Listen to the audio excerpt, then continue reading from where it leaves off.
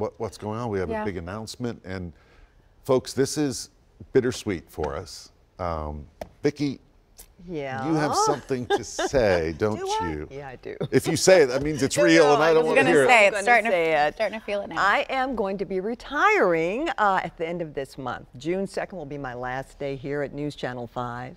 This has been such an honor to be here. It's been just an honor to be with wonderful people who I feel like Likewise. are family to me. We are family. And I, uh, I won't start now because I'm Yeah. an ugly crier. We have Nobody some wants tissue. to see that. Nobody wants to see that. But June 2nd will be my last day. It's on a Friday, so Yeah. um, that's it. It's going to be here before we know it. Listen, folks, there, there's no way, Vicki, that we can adequately put into words, right? No.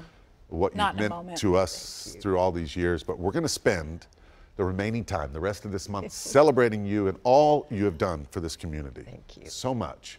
Look at this. Oh, my God. Our team's been poring over years of archive footage going back to your very first broadcast at News Channel 5 in 1990. oh my goodness. Since then, there have been hundreds of school patrol reports, your feature specials, wall to wall breaking news coverage, lots of hairstyles, a lot of hairstyles. yeah. and more community events that we can count. So, folks, listen, please join us all month as we celebrate Vicki. She's going out in style.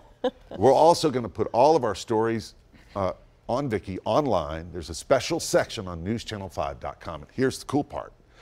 We had an old friend stop by we today, a former colleague here at News Channel 5. You might recognize her. Who was it? The one and only Oprah Winfrey. That's right. This is awesome. She's in town Yep. for the TSU Yeah. fans, but She wanted to wish Vicki well as she says goodbye. Look at that. Some old friends of hers as well. Chris Clark on the left Harry there. Harry Chapman.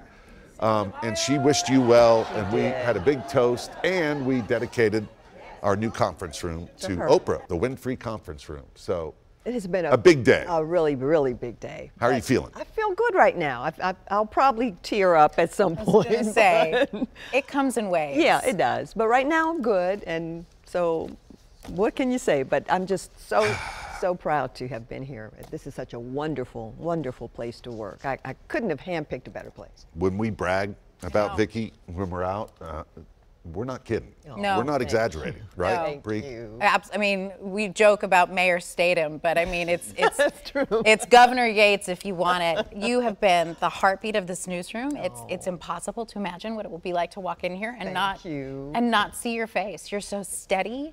You're measured. Compassionate. You've made a difference in so many people's lives that have never even met you but treasure you.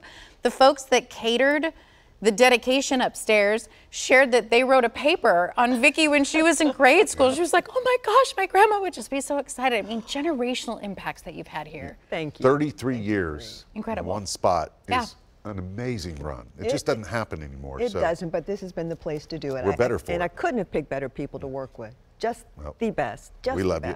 So a lot coming up, folks. So tune in.